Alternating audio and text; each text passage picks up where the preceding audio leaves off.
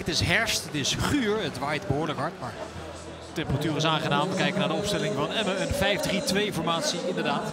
Wat valt op in die formatie van Emmen? Nou, Tibbeling en Lauwersen die ontbreken vanwege een schorsing. En in de goal geen Telgenkamp, die daar uh, natuurlijk de laatste jaren stond. Maar Wietwald, 30-jarige Duitser, van Eintracht gekomen. Wietwald dus 73 keer keepte hij in de Bundesliga. De formatie van Feyenoord, ook daar een andere doelman. Want uh, Bijlo, ja, voor hem komt deze wedstrijd net een dagje te vroeg. Zo zei advocaat in zijn interview met uh, Twan. Voorafgaand aan deze wedstrijd. Marsman dus in de goal. Voor in de basisplaats voor uh, Narsing. Linsen staat weer in de punt van de aanval. En Berghuis vanaf de rechterkant. Al zie ik nu bij de opstelling als ze aan de wedstrijd gaan beginnen, dat uh, Linsen naar de linkerkant gaat. En dat uh, Narsing de aftrap gaat nemen. Nou, misschien is dat een voorbode van toch een kleine aanpassing. Logischerwijs was men bij Feyenoord uh, verbolgen over het optreden van de Servische scheidsrechter afgelopen donderdag. Nou ja, nu hebben ze met Kuipers natuurlijk een internationale toparbiter vandaag aan de Oude Meerdijk. Maar wat supporters toch nog een glimp proberen op te vangen van deze wedstrijd. En sommigen lukt dat beter dan anderen. De Leeuw, Marsman komt en Marsman is veel te laat en dan gaat die bal er niet in. En dan legt hij hem op de stip. Kuipers. Vanwege het onbesuisde inkomen van Marsman. Even afwachten of die bal erin ploft. Nou, dat gebeurt niet. En dan uh, gaat hij op 11 meter. Maar Marsman schat dit natuurlijk helemaal verkeerd in. Hij krijgt ook nog uh, geel. Strafschoppen en Feyenoord. Drie afgelopen donderdag. Drie minuten onderweg in Emmen. En de strafschop is alweer gegeven. Rustige uitleg van Kuipers aan Marsman. Dat de VAR meekijkt. Dat hij zijn voeten op de lijn moet houden. Tot het moment dat Jansen contact maakt met de bal. Jansen Marsman. En die zit erin voor Emmen. Zo is het 1-0 voor de thuisploeg. Anko Jansen. Terug in de basis, de captain. Snelle goal in deze wedstrijd. Nieuwe tegenslag voor Feyenoord.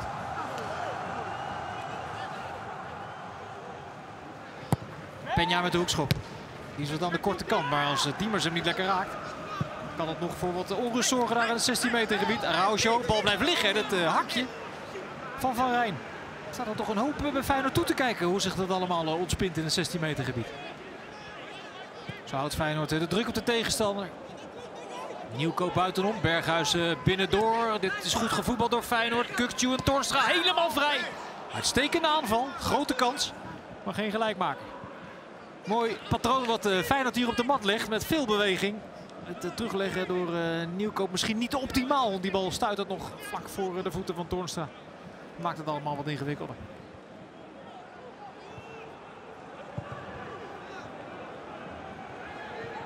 Diemers, Berghuis gevloerd. Doet niet mee in deze aanval. Een lelijke overtreding. Maar daar komt Nieuwkoop notabene, de bek.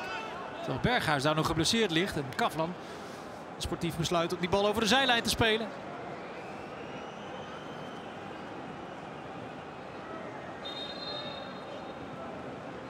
Zo, dat is een uh, behoorlijke van uh, Bakker. Echt gewoon een schop uitdeelt als Berghuis er langs wil. Ja, dat is voorkomen terecht dat Bakker daar geel voor krijgt. Geen enkele intentie om de bal te spelen. Feyenoord even met 10. 1-0 achter. Belangrijkste speler uitgevallen met een blessure. Zorg aan de oude Meerdijk voor uh, advocaat en zijn ploeg. Feyenoord weer compleet. Banis.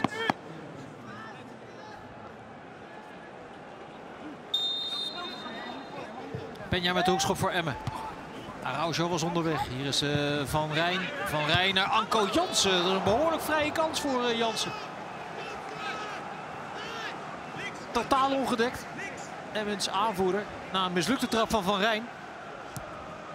Ja, in alle consternatie vergeten om die aanvoerdersband even door te geven aan iemand anders. Van Menen, het verleden in de scheidsrechterij, heeft dat in de gaten bij de staf van Feyenoord. Het zal zo worden opgelost. Jansen gaat er ook woest in tegen Diemers en gaat ook een kaart krijgen van Kuipers. En rood zelfs voor uh, Anko Jansen. Die moet er met de rood vanaf in minuut 36. Kan dat niet geloven. Maar hij draait zijn lichaam erin. En Kuipers interpreteert dat dan als uh, onbesuist. Ja. Het is ook onbesuist. Op het laatste moment trekt hij dat been nog wel terug, Jansen. Maar over de bal ingezet. Ik kan me voorstellen dat als je als scheidsrechter dat uh, zo ziet, over de bal heen. Dat je dan geneigd bent om een rode kaart te geven aan uh, de aanvoerder van Emmen. Staat er vlakbij, drie meter van de situatie verwijderd. Einde wedstrijd Jansen. Hij de aanvoerder nu.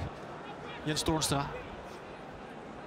En hij nu dus ook. Twee nieuwe aanvoerders. Toornstra die nog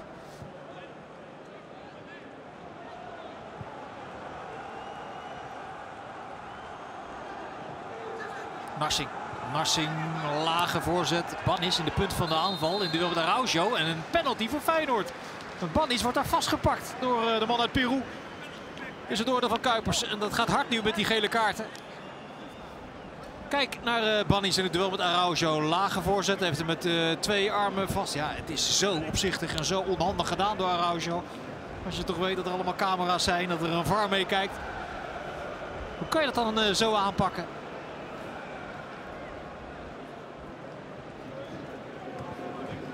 Concentratie bij Diemers. Diemers rustig 1-1. Goede penalty van uh, Diemers Feyenoord. Langs zij bij Emmen. Emmen dat zichzelf ongelooflijk in de problemen brengt in uh, de laatste minuten. De Leeuw. De Leeuw. Zo, De Leeuw. Wat is dat toch met deze wedstrijd? Vorig jaar Peña en nu Michael de Leeuw. Met een weergaloze goal. Emmen met 10. Op schitterende wijze naar 2-1. Het moet een tikje opportunistischer allemaal. Je moet het duels maar aangaan en zien hoe het valt. Nou, zo dus aannemen. En Marsman uit positie. Nou ja, uit positie. Gewoon geklopt door deze schitterende goal van uh, Michael de Leeuw. Weergeloze treffer 2-1 echt ieder duel gewoon aangaat hoor, die uh, De Leeuw. Toch ook hier weer een belangrijke rol in eerste instantie al voor hem. Door het de Senesi gewoon lastig te maken. En het vervolg daarna is prachtig.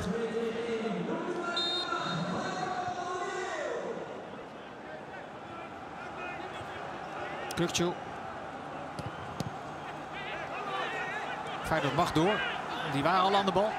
Diemers Bannies, Bannies met de, de aanname, maar geen vervolg bij uh, Bannies. Maar Feyenoord houdt wel de druk erop. Hier is Narsing. Toornstra, Toornstra. En die schiet hem schitterend binnen. Zo wordt het nog 2-2 uh, in de eerste helft. En doet deze wedstrijd qua spektakel al niet onder. Ten opzichte van de, editie van vorig jaar. Jens Toornstra. Derde met blessuretijd. Met een droge knal.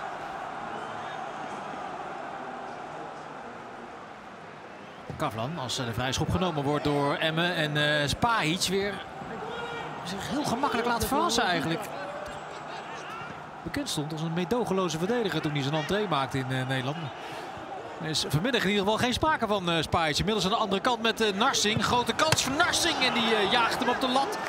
En advocaat woest de goud in.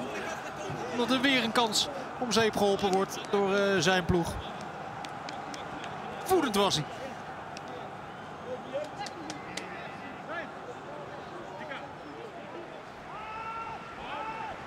Ja, dit zal normaal gesproken wel het beeld zijn van de tweede helft. Feyenoord op de helft van de Emmen. Op zoek naar doelpunten. Doornstra. Doornstra, balletje naar Kukcu klaarleggen. Nou, dit moet hem zijn, maar weer niet. Bannies. Wat een geweldige kans op 3-2 is dit voor de jongeling Bannies. Maar laat hem liggen. Faai balletje weer van uh, Toornstra. Goed klaargelegd door uh, Kukcu. Maar ja, opvallend. Beert hij daar de rust om het gewoon af te ronden keepers en jeugd. En Johnson en Geertruida.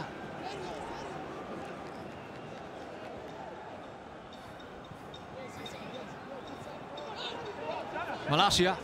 Malasia, dat is een goede voorzet van Malasia. Weer de lat geraakt. Geschampt nu na de kopbal van uh, Nieuwkoop. Nou, dat was weer eens een echte mogelijkheid voor uh, Feyenoord. Feyenoord moet dit natuurlijk over de streep trekken. En gaat, dat is toch wel een verrassende ontwikkeling. Botteguin, denk ik als uh, stormram inbrengen. Om dit over de streep te trekken in Emmen met uh, 11 tegen 10, 2-2. Het is Linsen die naar de kant gaat. Is die zelf nogal verbaasd over uh, zo te zien, Linsen. zo in de voeten. Die valt dramatisch in, uh, Geert Ruida. Jaagt hem wel goed door en heeft zo weer balbezit. Gele kaart nog voor uh, Chacon. Een vrije trap. Kukcu. Kukcu. Scheelt niet veel.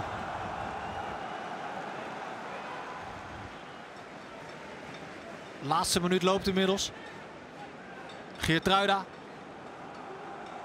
Geertruida met de, de voorzet en dan gaat hij er nog in ook. Doet Feyenoord het weer in de allerlaatste minuut van de extra tijd. Maakt hij zijn eerste in de Eredivisie, Bannies. En is dit vooral het doelpunt van de opluchting in uh, Rotterdam-Zuid. Ongelooflijk. Twee jaar op rij. Vorig jaar leverde het Feyenoord een uh, gelijk spel op. Die late goal van Toornstra. En nu doet uh, Bannies het. In de vierde minuut van de extra tijd. Op het moment dat je het totaal niet meer verwacht. Maar daar is het laatste fluitsignaal van uh, Björn Kuipers. Een wedstrijd die in de eerste helft heel veel spektakel bood. Met strafschoppen, een rode kaart, een wondergoal van Michael de Leeuw. In de tweede helft was het een heel ander verhaal. Feyenoord dat drukt, dat druk probeert te ontwikkelen. Daar niet heel erg goed in slaagt. Desondanks wel wat mogelijkheden kreeg. Twee keer de lat raakte. Maar uiteindelijk tot de 94ste minuut wacht tussen aanhalingstekens. Met het winnende doelpunt van Banis.